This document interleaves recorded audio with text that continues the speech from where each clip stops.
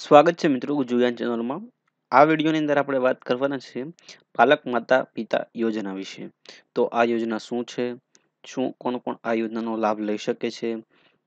ક્યાં ક્યાં એની માટે તમારે પ્રોસેસ કરવાની હોય છે? ક્યાં ક્યાં ડોક્યુમેન્ટ જોવે છે? એની તમામ માહિતી આપણે આ વિડીયોમાં ડિસ્કસ કરશું. તો ચાલો શરૂ કરીએ. તો સૌ પ્રથમ આ ગવર્મેન્ટ ઓફ ગુજરાતની ઓફિશિયલ વેબસાઇટ છે SGI dot Gujarat dot GOV dot in એની એની લિંક પર હું આવી ગયો છું. આ લિંક હું તમને ડિસ્ક્રિપ્શનમાં આપી દઈશ. તો અહીંયા તમે યોજનાની અંદર, બાળ કલ્યાણની અંદર સબસેક્શન છે, પાલક માતા પિતા યોજના. તો પાલક માતા પિતા યોજના, તો બાળકોના સ્વસ્થ અને સંતુલિત વિકાસ માટે, મિત્ર, આ વાંચવાની જરૂર નથી. હું તમને થોડોક રફ આઈડિયા આપી દઉં કે આ યોજના શું છે, કે જે બાળકના માતા પિતા યાદ નથી, એટલે કે જે એક્સપાયર થઈ ગયા છે, અને એ બાળક જો કોઈ અનાથ આશ્રમમાં ના રહે અને કોઈ ફેમિલી જો એને એક્સેપ્ટ કરી લે, તો એને એ લોકોને સરકાર દ્વારા સહાય આપવામાં આવે છે. આ યોજના છે પાલક મિતા માતા માતા પિતા યોજના કે જે બાળકના માતા પિતા હયાત નથી. એટલે જે બાળક, બાળકના માતા પિતા હયાત ન હોય એને અનાથ આશ્રમમાં રહેવું પડતું હોય છે. પણ જો અનાથ આશ્રમમાં રહે તો એને એવું વાતાવરણ ન મળે કે પોતે સારી રીતે અભ્યાસ કરી શકે કે ઘણા બધા પ્રોબ્લેમ થતા હોય છે અનાથ આશ્રમમાં. તો એને રોકવા માટે સરકારે આ યોજના જે ફેમિલી માતા પિતા હયાત નથી, એ બાળકને રાખે છે, એની માટે સરકાર આ યોજનામાં સહાય આપે છે. તો આ છે આ યોજના. યોજનાનું નામ છે પાલક મિતા માતા પિતા યોજના. પાત્રતાના ધોરણની આપણે વાત કરીએ તો આ યોજના અંતર્ગત ગુજરાતમાં વસતા જીરોથી અઢાર વર્ષથી ઉંમરના તમામ અનાથ બાળકો કે જેના માતા પિતા હયાત નથી તેવા બાળકોને મળવા પાત્ર છે. જે બાળકના પિતા મૃત્યુ પામેલા હોય અને માતાએ જો બીજી વાર લગ્ન કરી નાખ્યા હોય તેવા બાળકોને પણ આ આ યોજનાનો સહાય મળવા પાત્ર છે. પણ એની માટે તમારે જે માતાએ લગ્ન કર્યા છે એનું તમારે સર્ટિફિકેટ દર્શાવવાનું હોય છે. જ્યારે તમે આ ફોર્મ ભરો ત્યારે.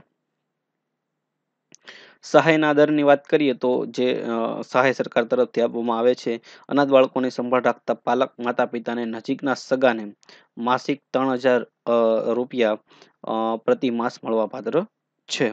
એટલે બાર તેરીને છત્રીસ ટોટલ તમે વર્ષના ગણો તો મહિનાના ત્રણ એટલે બાર તેરી છત્રીસ હજાર રૂપિયા મળવા પાત્ર છે. આવક મર્યાદા વાત કરીએ તો આવક મર્યાદા પાલક મહેતા આવક ગ્રામ્ય વિસ્તારમાં સત્યાવીસ હજારથી વધારે શહેરી વિસ્તારમાં છત્રીસ હજારથી વધારે હોવાનો મામલતદારનો દાખલો તમારે રજૂ કરવો પડે છે. ઠીક છે.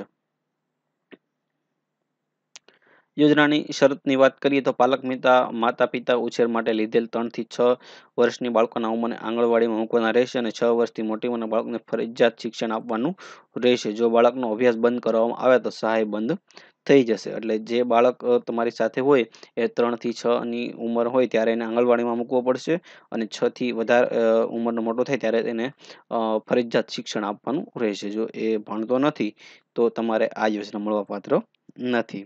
અથવા જો તમે ચાલુમાં ભણતો હશે અને જો ઉઠી જશે, તો આ યોજના સહાય જે છે એ બંધ કરી દેવામાં આવશે. આંગણવાડીમાં જતા બાળકો માટે સંકલિત બાળ વિકાસ યોજના સંબંધિત પ્રોગ્રામ ઓફિસરનું પ્રમાણપત્ર તથા શાળા જતા બાળકોને સંબંધિત શાળાનું આચાર્યનું પ્રમાણપત્ર દર પંદરમી જુલાઈ સુધીમાં રજૂ કરવું પડશે. એટલે જે આંગણવાડીમાં જતો હોય તો જે સંકલિત બાળ વિકાસ યોજનાના જે ટૂંકમાં આંગણવાડીમાં જે હોય છે એનું તમારે પ્રમાણપત્ર અને જો સ્કૂલમાં જતો હોય બાળક તો તમારે આચાર્યનું પ્રમાણપત્ર દર વર્ષે સબમિટ કરવાનું હોય છે. ઠીક છે. બાળકના માતા પિતાના મરણની પ્રમાણિતના દાખલા રજૂ કરવાના હોય છે. જે મરણ સર્ટિફિકેટ હોય છે એ તમારે રજૂ કરવું પડી શકે છે કે જેના માતા અને પિતા એક્સપાયર થઈ ગયા છે. જો બાળકની માતાએ પુનઃ લગ્ન કરેલા હોય અને બાળક માતા સાથે રહેવા જાય, તો તેવા સંજોગોમાં સહાયનું આપવાનું બંધ થઈ જશે. એટલે આ યોજનામાં જે પહેલાં આપણે મેન્શન કર્યું કે જો બાળકનો પિતા એક્સપાયર થઈ ગયા હોય અને માતાએ જો બીજા લગ્ન કરી લીધા હોય, તો આ યોજનાને સહાય મળવાપાત્ર છે. એટલે કે આ યોજનાનો લાભ લઈ શકે છે. પણ જો બાળક તે પાછો લગ્ન થયા પછી તેની માતા જોડે રહે છે, તો આ યોજનાનું સહાય મળવાપાત્ર નથી.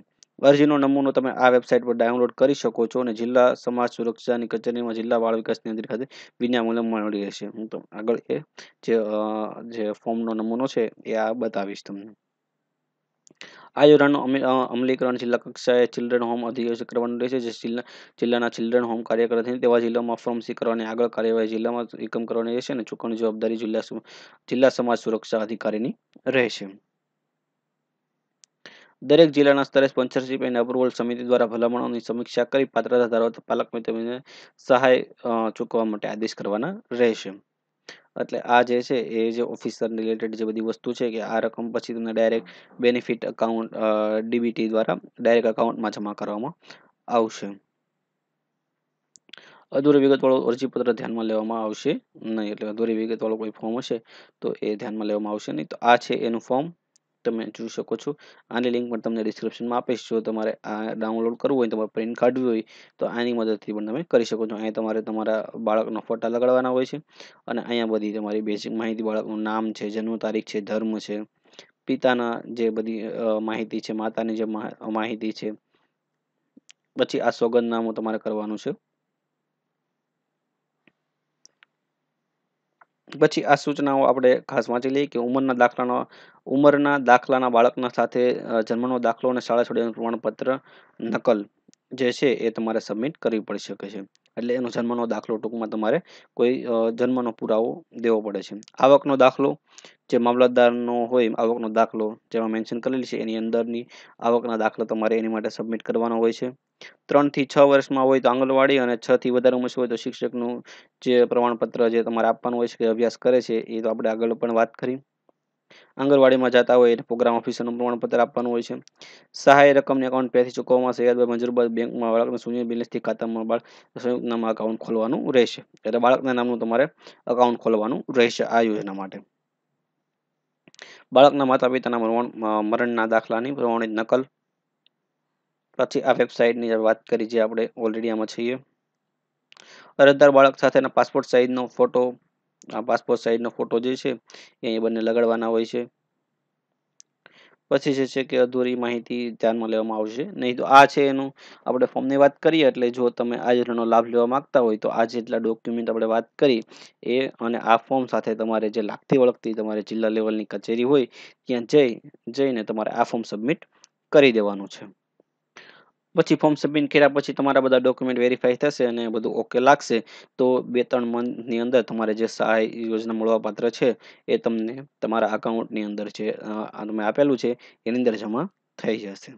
તો આ વાત કરીએ આપણે ઓફલાઈન પ્રોસેસની જો તમે ઓનલાઈન પ્રોસેસ કરવા માંગતા હોય, તો આની અંદર તમે ઓનલાઈન પણ એનું ફોર્મ ભરી શકો છો. તો એની માટે સૌપ્રથમ તમારે આ e Samaj Kalyan dot Gujarat dot GOV dot in આ જે સોશિયલ જસ્ટિસ એન્ડ એમ્પાવરમેન્ટ ડિપાર્ટમેન્ટની વેબસાઇટ છે, ગવર્મેન્ટ ઓફ ગુજરાત. તમે જોઈ શકો છો, આની લિંક હું તમને ડિસ્ક્રિપ્શનમાં આપી દઈશ. તો આની અંદર તમારે સૌપ્રથમ આવી જવાનું છે. આની અંદર ઘણી બધી યોજનાઓ તમે ઓનલાઈન ફોર્મ ભરી શકો છો, જે આપણે ઓલરેડી વાત કરેલી છે. તો અહીંયા તમારે જો તમારું રજિસ્ટ્રેશન ન હોય, તો આ જે પ્લીઝ હિયર રજિસ્ટર હિયર ઉપર ક્લિક કરી અને તમારે તમારું રજિસ્ટ્રેશન કમ્પ્લીટ કરવાનું રહેશે. એની અંદર તમારે તમારું નામ છે. તમારે જે નામથી તમે એપ્લાય કરવા માગતા હોય, એનું તમારે બધી ડિટેલ્સ અહીંયા નાખવાની છે. માનો કે તમે તમારા છોકરાનું ફોર્મ ભરવા માગતા હોય, તો એ જ માહિતી તમારે અહીંયા નાખવાની છે. એનો આધાર નંબર છે ઈમેલ આઈડી છે કાસ્ટ છે મોબાઈલ નંબર છે, આ બધી બેઝિક માહિતી તમારે સબમિટ કરી અને આની અંદર તમારે રજિસ્ટ્રેશન કરી લેવાનું છે. તમારું રજિસ્ટ્રેશન થઈ જાય એટલે તમને મોબાઈલ નંબર અને ઈમેલ અંદર તમને તમારો યુઝર આઈડી મળી જશે અને પાસવર્ડ જે તમે સેટ કર્યો છે એ, તો એ બંને અહીંયા તમારે નાખી દેવાના છે અને આની અંદર લોગિન કરી લેવાનું છે.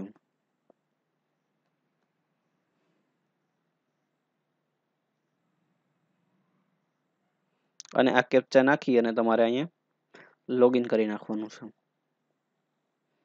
ઇનવેલિડ કેપ્ચા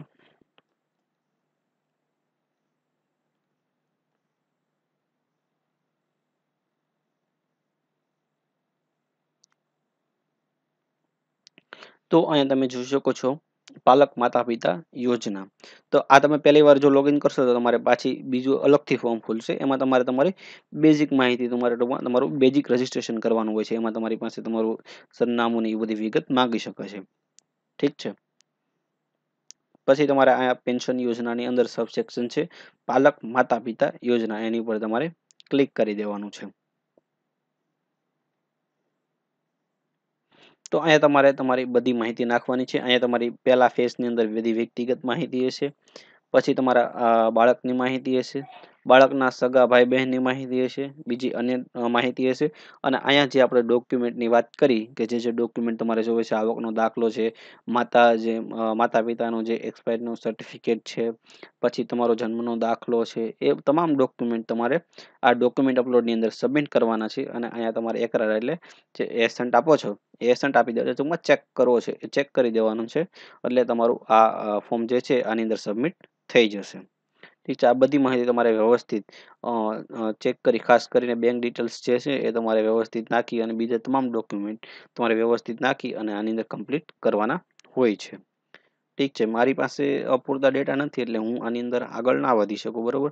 તમારી પાસે પૂરતા ડેટા હોય કે ભાઈ આ તમારી પાસે ડોક્યુમેન્ટ જે અપલોડ કરવાના હોય કે એક્સપાયરનું સર્ટિફિકેટ હોય એટલે તમે આની અંદર આગળ સ્ટેપ બાય સ્ટેપ વધતા જશો. ઠીક છે? એટલે આ તમારે આ છ ફેસ આની અંદર કમ્પ્લીટ કરવાના હોય છે.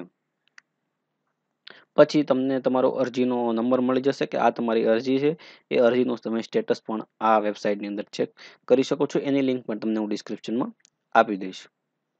ઠીક છે, તો આ વેબસાઇટ છે એ Kalyan Samaj dot Gujarat dot GOV dot in એને તમે ઓનલાઈન પણ કરી શકો છો. તો મિત્રો, આ માહિતી હતી પાલક માતા પિતા યોજના વિશે. બીજા કોઈ તમને ક્વેશ્ચન હોય તો મને કોમેન્ટ સેક્શનમાં જણાવજો. તેનો જવાબ દેવા પૂરતો પ્રયત્ન કરીશ. આ વીડિયો જોવા માટે તમારો ખૂબ ખૂબ આભાર.